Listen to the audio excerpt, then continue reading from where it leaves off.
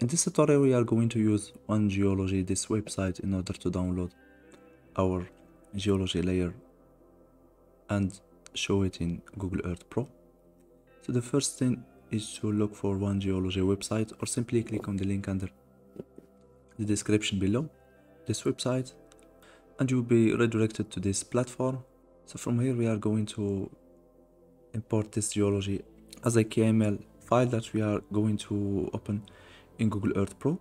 So without further ado, the first thing that you need to do is to make sure that you zoomed out at the maximum in order to get the general view on the Earth's surface geology. So this is crucial because we are going to download geology of the whole planet. If you want to get the geology of a specific place on Earth, you can zoom on it. So after that, we are going to click on Save View.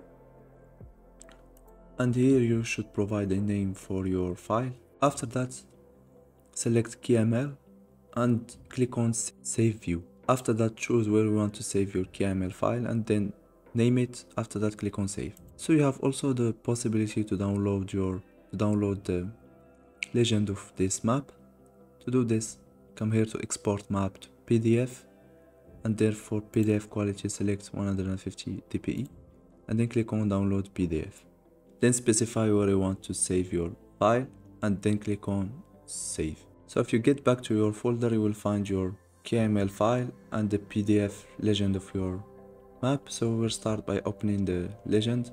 So this is the view that we exported and this is our legend.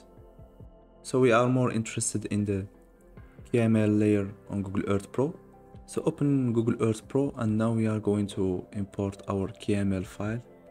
To do this, just go to file and then click on open. Navigate to where you saved your KML geology file, click on it and then click open. And go to your file and then select this, this file.